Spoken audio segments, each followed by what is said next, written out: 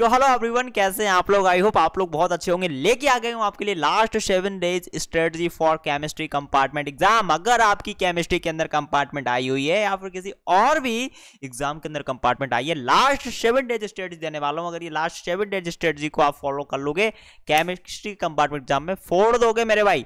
अब जिनका सिलेबस पूरा हो गया, उनको क्या करना है? उनके लिए भी बताऊँगा। जिनका थोड़ा सिलेबस बचा हुआ है, उनके लिए भी बताऊँगा। और जिन्होंने अभी तक कुछ नहीं पढ़ा कुछ नहीं पढ़ा जिन्होंने स्टार्ट भी नहीं किया पढ़ना।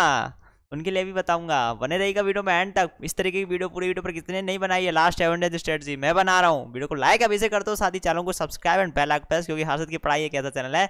तो कंपार्टमेंट वाले बच्चों को सपोर्ट कर रहा है। डोंट थिंक यूट्यूब पर कोई और सपोर्ट कर रहा है कि नहीं। आइए वीडियो को स्टार्ट करते हैं। ओके फ़र्स्ट ऑफ़ ऑल उनकी बात कर लेते हैं, जिनका सिलेबस पूरा है, ठीक है? बहुत कम बच्चे होंगे जिनका सिलेबस पूरा होगा, ठीक है? जल्दी जल्दी निपटाएँगे। उसके बाद उन बच्चों की बात करेंगे जिनने थोड़ा बहुत सिलेबस कम है। है ना? जिनका थोड़ा बहुत सिलेबस बचा हुआ है और लास्ट में बात करेंगे, जिनका सिलेबस बिल्कुल भी कवर नहीं है, जिन्होंने कुछ नहीं पढ़ा। आइए स्टार्ट करते हैं। जिनका सिलेबस कंप्लीट है मेरे भाई फ़र्स्ट ऑफ़ ऑल तो मुझे ऐसा लग रहा है कि आपकी गलती से कंपार्टमेंट लग गई। ऐसे स्टूडेंट जिनका सिलेबस पूरा है, जिनकी तैयारी पूरी होगी कंपार्टमेंट एग्ज़ाम की, मुझे ऐसा लग रहा है ये बच्चे बहुत स्मार्ट है, देखो। इनकी गलती से कंपार्टमेंट लग गई। ठीक है तो जिनका पूरा हो गया सिलेबस अच्छे से, ठीक है, सब कुछ डन है, उनके लिए क्या करना है? भैया सिंपल सी बात है, आपको कुछ खास नहीं करना है। फ़र्स्ट ऑफ़ ऑल रिवीजन करते रहना। जिनका सिलेबस पूरा कंप्लीट है, सब कुछ पढ़ाई कंप्लीट हो गई कंपार्टमेंट की तैयारी रिवीजन करना है, ठीक है, जो आपने नोट्स बनाए हैं और प्लस प्रीवियस ईयर क्वेश्चंस इनका रिवीजन करना है। ये सारी चीज़ आपने ऑलरेडी कर रखी होंगी अगर आपका सिलेबस पूरा कंप्लीट है। राइट दूसरी चीज़ सैंपल पेपर प्रैक्टिस करते रहना, कोई दिक्कत नहीं है, ठीक है? और थर्ड चीज़ सेल्फ कॉन्फिडेंस बहुत इंपॉर्टेंट है मेरे भाई। एक आपको चीज़ बताता हूँ। जिनका सिलेबस बिल्कुल भी पूरा नहीं है, वो बहुत डर रहे हैं। कॉन्फिडेंस नहीं आ रहा है कि कंपार्टमेंट एग्ज़ाम में पास हो पाएँगे कि नहीं। अरे ठीक है उन्होंने तो पढ़ाई नहीं करी। वो स्टूडेंट जिन्होंने सब कुछ पढ़ लिया कंपार्टमेंट एग्ज़ाम के लिए, उन बच्चों के अंदर भी कॉन्फिडेंस नहीं है, मैं ये चीज़ देख पा रहा हूँ। ठीक है? अब वो किसी के अंदर नहीं होता है। ठीक है? डर सबको लग रहा होता है कि फेल ना हो जाए कहीं हम, हैं? कहीं ऐसा ना हो कि हमें एक भी क्वेश्चन ना आए। और डर हर एक इसी को लगता है। टीचर्स होगा ना उसको भी लगेगा अगर वो एग्ज़ाम देने जा रहे हैं। तो self confidence is very very important मेरे भाई। आपने सिलेबस पूरा कर लिया कंपार्टमेंट एग्ज़ाम का। मैं बोल रहा हूँ, आप hundred and one percent pass हो जाओगे, सारे क्वेश्चन अटेम्प्ट कर लोगे। तो उस भरोसा रखो। लास्ट में एक इंपॉर्टेंट चीज़ बोलूँगा डोंट स्टडी न्यू टॉपिक्स अब ये मत सोचना कि यार मेरा सिलेबस पूरा हो गया, कुछ नया पढ़ लेता हूँ, कुछ एक्स्ट्रा पढ़ लेता हूँ, है? कोई ऐसा टॉपिक पढ़ लेता हूँ जो शायद आ जाए हार्ड देखो होता है ना, बच्चे बोलते भाई, थोड़ा सा ज़्यादा पढ़ लेते अच्छे से पढ़ लेते डीप में पढ़ लेते ताकि ऐसा ना हो कि एग्ज़ाम हार्ड आ जाए, बाहर से कोई क्वेश्चन आ जाए। तो वैसा मत करना मेरे भाई। कंपार्टमेंट एग्ज़ाम देने जा रहे हो। हार्ड नहीं आएगा इतना ज़्यादा। ईजी आएगा नॉर्मल आएगा। ठीक है? और जितना तुम पढ़ चुके हो, बस उसका रिवीजन करो। अच्छे से तुम्हारी तैयारी पूरी है तो। ठीक है? कुछ भी नया मत पढ़ो। वो स्टूडेंट जिनका थोड़ा बहुत सिलेबस पूरा है, थोड़ा बहुत बचा हुआ है, उनके लिए। पहली चीज़ रिविजन जो तुम पढ़ चुके हो अब इनका वही रहता है, कुछ चैप्टर पढ़े हैं, कुछ चैप्टर छोड़ रखे हैं। तो जितना तुम पढ़ चुके हो, जितने चैप्टर्स अच्छे से, ठीक है? और पढ़ाई भी कैसे करनी है, वो भी बताऊँगा लास्ट में, बने रहना वीडियो में एंड तक, ठीक है? इंपॉर्टेंट चीज़ है, पता चले तुमने केवल वन शॉट लेक्चर देख लिया और बोल लो मेरा सिलेबस कंप्लीट है भैया। No no no no no वो उसकी बात नहीं करो, ध्यान से देखना वीडियो को लास्ट तक। तो मैं मान के चलता हूँ कि आपने थोड़ा बहुत पढ़ लिया, थोड़ा बहुत आपका बचा हुआ है, लेकिन जितना भी आपने पढ़ लिया है, उसके नोट्स आपके पास होंगे, आपने प्रीवियस ईयर क्वेश्चन करे होंगे एनसीआरटी के क्वेश्चन किए होंगे उनके उनका रिवीजन करना है। जितना तुम पढ़ चुके हो, सबसे पहले तो उसका रिवीजन हर रोज करना है, आपको बहुत अच्छे से करना है। बहुत इंपॉर्टेंट है रिवीजन सबसे ज़्यादा इंपॉर्टेंट है। और दूसरी चीज़, भैया, मेरे तो कुछ चैप्टर बचे हुए हैं, वो भी सोचा हूँ पूरे कर लूँ, उनके लिए बता रहा हूँ क्या करना है। वन शॉट लेक्चर देखना है भैया। जैसे मान लो आपका चैप्टर छूटा हुआ है सॉलिड स्टेट हालाँकि आ नहीं रहा सॉल्यूशन आ रहा है। हाँ सॉल्यूशन आ रहा है, ये चैप्टर आपका छूटा हुआ है मान लो। तो भैया सॉल्यूशन का वन शॉट लेक्चर देखना है। यूट्यूब पर जाकर सर्च करना है solution one shot class twelfth CBSE ठीक है? बड़ी चीज़ ये है, भले ही तुम कुछ चैप्टर छोड़ के जाना केमिस्ट्री के अंदर, लेकिन इंपॉर्टेंट ये कि जितना भी तुम पढ़ के जा रहे हो ना, वो चीज़ तुम्हें अच्छे से आनी चाहिए। पूरा सिलेबस करके जाओगे, लेकिन अगर कुछ लिख नहीं पाओगे सही तरीके से, कुछ भी चीज़ याद नहीं रहेगी रिविजन नहीं करोगे, पास नहीं हो पाओगे मेरे भाई। जितना भी पढ़ के जा रहे हो, अच्छे से पढ़ के जाओ। और वही अपनी पुरानी चीज़, पता ही होगा सैंपल पेपर ठीक है, यहाँ पर मैंने वही चीज़ लिखी हुई है, जितना पढ़ा है, उतना अच्छे से आना चाहिए मेरे भाई। कोई फ़ायदा नहीं, आप पूरा सिलेबस पूरा करके जा रहे हो। आपको फॉर्मुलाज याद नहीं है आप क्वेश्चन सॉल्व नहीं कर पा रहे हो, आप लिख नहीं पा रहे हो। इसलिए ये चीज़ हमेशा याद रखना, ज़िंदगी में कोई भी एग्ज़ाम देने जा रहे हो, कोई फ़र्क नहीं पड़ता आपका सिलेबस पूरा है कि नहीं। फ़र्क इस चीज़ से पड़ता है मेरे भाई कि आपको आता कितना है, आपके दिमाग में कितना है, हा? आप क्वेश्चन सॉल्व कर पा रहे हो नहीं इंपॉर्टेंट ये है। आपको सब आता हो, ठीक है, आपने सब आता हो आपको। लेकिन अगर आप क्वेश्चन सॉल्व नहीं कर पा रहे हो सही से आंसर नहीं लिख पा रहे हो तो कोई आपसे नहीं पूछेगा कि सिलेबस बेटा पूरा है कि नहीं। इसलिए बोल रहा हूँ, जितना भी पढ़ो, अच्छे से पढ़ो। ठीक है फिफ्टी परसेंट सिलेबस करके भी जाओगे, तब भी पास हो जाओगे केमिस्ट्री के अंदर। अब बात करते हैं उन बच्चों की, जिन्होंने अभी तक पढ़ाई स्टार्ट नहीं करी। कुछ नहीं पढ़ा इन्हें कुछ नहीं आता जी। फ़र्स्ट ऑफ़ ऑल मेरे भाई, आप डिमोटिवेट मत हो। ये दुनिया तुमको बोले कि भाई, तुम बेकार हो, तुमने कुछ नहीं पढ़ा। मैं बोल रहा हूँ, आपके अंदर दम है मेरे भाई। अभी भी तुम बहुत ईजिली पार्ट हो, आप पास हो सकते हो कंपार्टमेंट एग्ज़ाम में। खुद को किसी से कम मत समझना। ठीक है, अब मैं पूरी स्ट्रेटजी भी बताऊँगा और ध्यान से सुनना मेरे भाई। सबसे पहले तो एक इंपॉर्टेंट चीज़, अब इसमें क्या लिखा है मैंने पीपीटी में, उससे मेरे को फ़र्क नहीं पड़ता, वो तो बस मैंने लिखा हुआ है, मैं बता रहा हूँ, वो ध्यान सुनना। पहली चीज़, जिन्होंने अभी तक कुछ भी नहीं पढ़ा, जिन्हें बिल्कुल केमिस्ट्री नहीं आती कंपार्टमेंट लगी हुई है पास होना चाहते हो, पहली चीज़। सबसे पहले, आपके पास सात दिन का समय मान के चलता हूँ, ठीक है? एक सप्ताह है आपके पास केवल, सात दिन में ये कोशिश मत करना कि अभी तक कुछ नहीं आता, और अब सात दिन में हम पूरा सिलेबस कवर कर लेंगे। ये चीज़ दिमाग से निकाल दो। अगर पहले से पढ़ा हुआ है तो बात अलग है, लेकिन अगर आपने पूरी साल कुछ नहीं पढ़ा, आपको केमिस्ट्री नहीं आता क्लास ट्वेल्थ का तो अब ये मत सोचना कि लास्ट सेवन डेज़ में तो हम ऐसे पढ़ेंगे ऐसे पढ़ेंगे। पूरा सिलेबस पूरा कर लेंगे मेरे भाई। मैं सच बता रहा, अगर तुमने लास्ट सेवन डेज़ के अंदर पूरा सिलेबस करने की कोशिश करी, अभी तक कुछ नहीं पढ़ा आई फेल हो जाओ, हो सकते हो बिल्कुल। क्यों?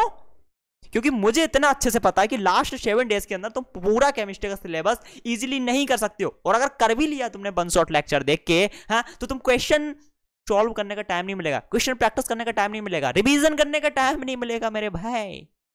हाँ जी। और अगर कर भी लिया तुमने, मान लो वन शॉट लेक्चर देख लिया क्वेश्चन सॉल्व कर लिए, भैया रिवीजन कैसे करोगे? भैया केमिस्ट्री है, कोई हलवा नहीं है। चीज़ें दिमाग में घुसेड़नी पड़ेंगी, बहुत सारी चीज़ें प्रैक्टिस करनी पड़ेगी थोड़ी सी। उसके लिए टाइम चाहिए मेरे भाई। इसलिए बोल रहा हूँ, भाई, अगर सिलेबस पूरा कर भी सकते हो हाँ कर लो, कोई बड़ी बात नहीं। लेकिन फ़र्स्ट प्रायोरिटी तुम्हें क्या रखनी, बता रहा हूँ, ध्यान से देखेगा लेकिन स्ट्रेटजी क्या रखनी, वो भी ध्यान रखना। जिनने थोड़ा बहुत पढ़ा है, वो भी ध्यान से देख लो। सबसे पहले one shot lecture last seven days के अंदर कोई भी आपको डिटेल में नहीं पढ़ना है, ठीक है? हर एक चैप्टर बंसॉट लेक्चर से देखना है। ध्यान रखेंगे इस बात को, ठीक है? दूसरी चीज़ नोट्स का प्रिंट आउट निकलवा लेना। भैया, सात दिन है तुम्हारे पास केवल।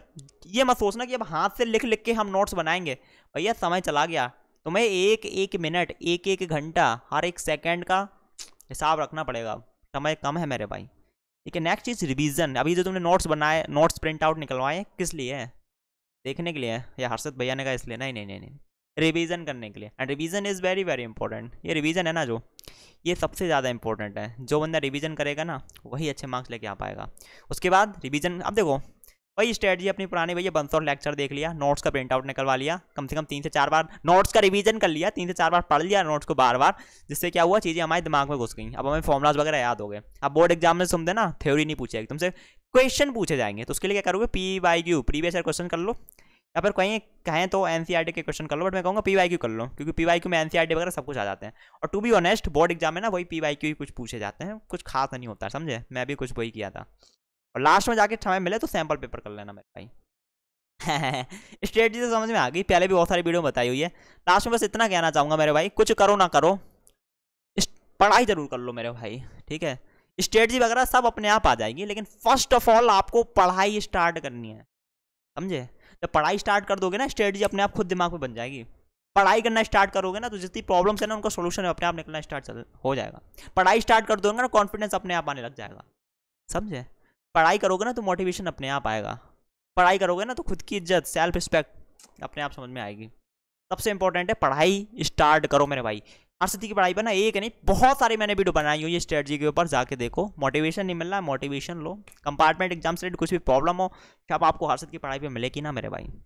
सबसे पहले इंपॉर्टेंट चीज़ यही है कि मेरे भाई, मैं हर एक बच्चे से यही चीज़ बोलना चाहता हूँ। भाई तुम सिलेबस भले ही पूरा मत करो, कोई भी बच्चा हो, लेकिन अगर तुम पचास से सत्तर, अस्सी परसेंट सिलेबस पूरा करके जा रहे हो ना तो उसको ऐसे करके जाओ, ऐसे करके जाओ कि उसका हर एक क्वेश्चन तुम अटैम्प्ट कर लो। ठीक है? अब जिन्होंने अभी तक कुछ नहीं पढ़ा, अब वो उन्हें, वो थोड़ा डिमोटिवेट भैया यार, अब तो हम क्या करेंगे? हमारी तो बैंड बच जाएगी, है। हम तो पढ़ भी पढ़ भी नहीं पाएँगे पूरा। आपको एक चीज़ ध्यान रखना है मिनिमम थर्टी का टारगेट लेके चलना है आपको। देखो, अभी आपका जो केमिस्ट्री का एग्ज़ाम होने वाला है, वो होने वाला है सेवेंटी मार्क्स का। और पास होने के लिए तुम्हें चाहिए सेवेंटी में से ट्वेंटी थ्री और मैं बोल रहा हूँ कि भैया कम से कम तीस नंबर लेके आना तुम्हें।